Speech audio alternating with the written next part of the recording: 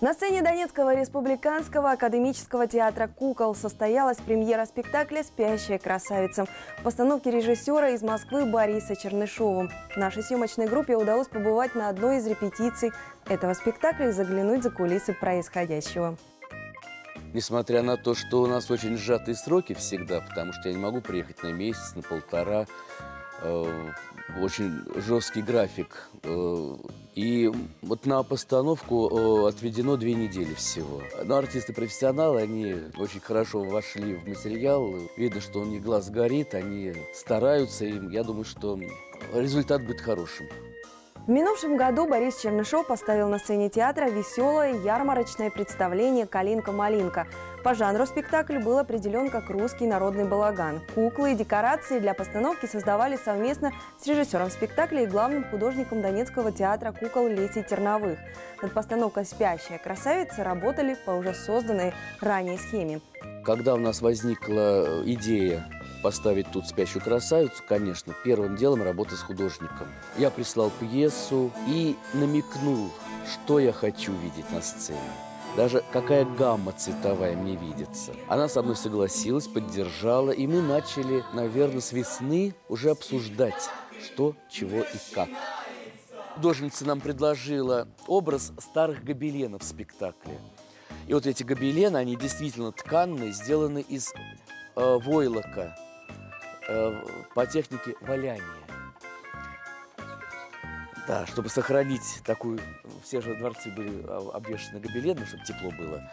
Вот эти витражи, которые будут светиться, когда надо, а когда не надо, они не будут светиться. Создание э, эскизов к спектаклю – это очень важный процесс. К нему надо отнестись очень э, внимательно, потому что я потом не могу сказать, нет, знаешь, это все не то. А как не то, послезавтра дети придут в зал. Когда мы ставили год назад «Калинку-малинку», я уже присматривался, с кем можно дальше идти, с кем можно сочинять новую историю. И у меня спросили, кого ты хочешь в этом спектакле. Я уже так намекнул, кого бы, со мной согласились и дали еще других артистов. Потому что на, в спектакле занято 8 человек, два состава по 4 человека. Человек должен одновременно работать и с куклой, и с голосом, и с пластикой, и понимать, что кукла тут главное и себя вперед не выпячивать, и при этом про себя не забывать. А у нас еще появились и у нас же феерия, феи, феерия-то у нас откуда взялась? Волшебство. И есть момент, когда актер ведет одну куклу, а озвучивает другую. Поэтому артисты работают в нескольких плоскостях. Их работа сейчас похожа на хорошего циркового гимнаста, который ходит на проволоке, но еще при этом в одной руке крутит кулакуб, а головой чеканит мячик. Если он где-то э, даст слабинку, он просто упадет. Думаю, они в таком напряжении находятся. Известную сказку Шарля Перо донецкие кукольники разыгрывают в жанре музыкального спектакля «Феерии», а помогают им в этом необычные куклы – красочные костюмы и древнее искусство театра теней. Те куклы, которые у нас используются в спектакле, они паркетные. Они ходят по тому же полу, по которому и артисты. И теневые куклы. Ну, я ребятам рассказывал, проводил мастер-класс по технологии не только кукол и света. Они освоили новую еще профессию артист-теневик. Самое волшебное место – белый экран.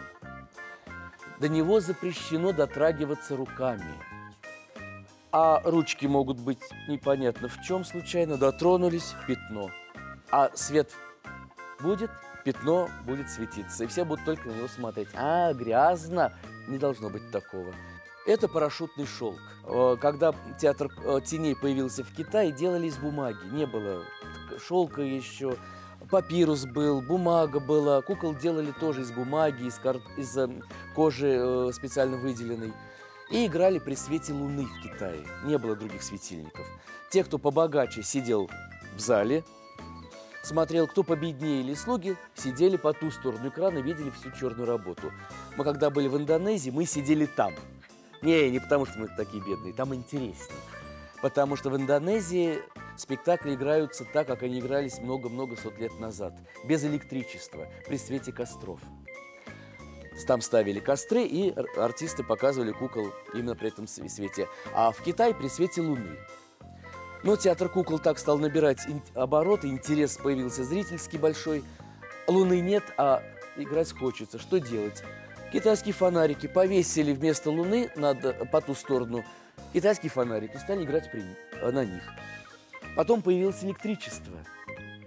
И теперь э, масляные фонарики, вместо них висит светильник. Ну, тоже китайский, но электрический.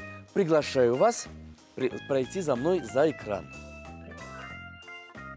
Для того, чтобы все это ожило, вот наша световая аппаратура. Электрический фонарь, вот вместо него раньше светила луна, теперь верхний фонарь. Артист не прячется никуда от, э, от зрителей, он стоит прямо перед ним, но экран загораживает. А, Ларис, можно чуть-чуть дать света? Вот, вот зашла луна, можно играть. Раньше кукол делали из э, кожи буйвола, из э, плотного папируса. Сейчас используются пластики. Вот наша фея Карабос, она сделана из пластика, расписана. И стоит ее только приложить, зритель ее начинает видеть. Для чего нужна вот эта тряпочка? Она называется рассеиватель. Если ее убрать, вылезает вся грязь от тростей. Все, не, видите, видна. А теперь мы вешаем, натягиваем тряпочку, и тени нет. Грязи нет, видна только четкая тень от куклы. Стоит ее только убрать, и кукла исчезает, размывается. Вот такая китайская технология.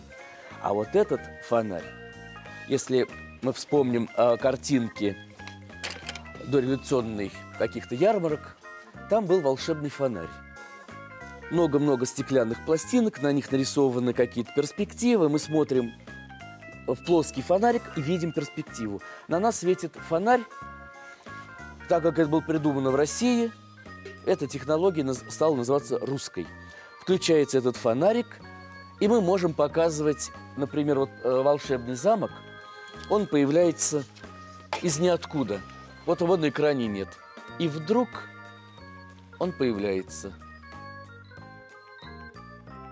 Музыка к этому спектаклю была написана композитором Антоном Бессоновым. Я даже в афише попросил написать не музыкальное оформление, а композитор, потому что человек вошел в наш мир, прочувствовал его и начал мне присылать на протяжении всего лета какие-то демонстрационочки, где он играл на гитаре туда, не туда, это нащупали, не то нащупали.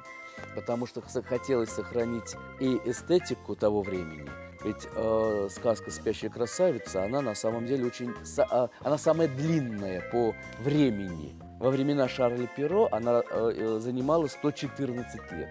Нам сейчас возраст подняли пенсионный, поэтому уже и красавица не 14, а 16.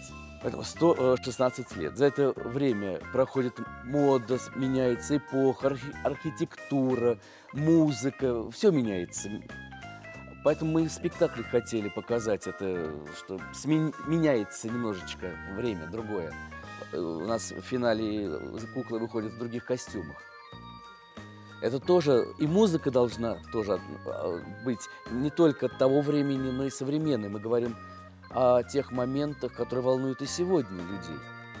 Мы не рассказываем сказку того времени. Классика, она тогда классика, когда она во все времена актуальна. Ведь очень много историй, э, которые ушли. Мы не знаем э, много, э, многих литературных шедевров, которые были сочинены вот только для того времени. Лопе де Вега сочинил 250 пьес. До нас дошло три. Те были сделаны на конкретные события, к конкретному времени. И сегодня они хороши, а завтра потеряли актуальность. О них уже забыли, к сожалению так и мы хотим сказать, что вот то, о чем наши персонажи хотят сказать зрителю, актуально во все времена.